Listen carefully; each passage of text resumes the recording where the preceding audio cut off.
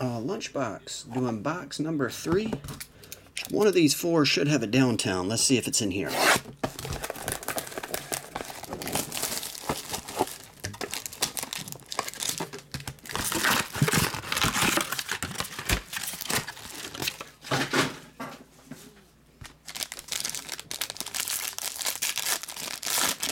They actually put it in the middle now. They on the 1718 they used to put it on the back.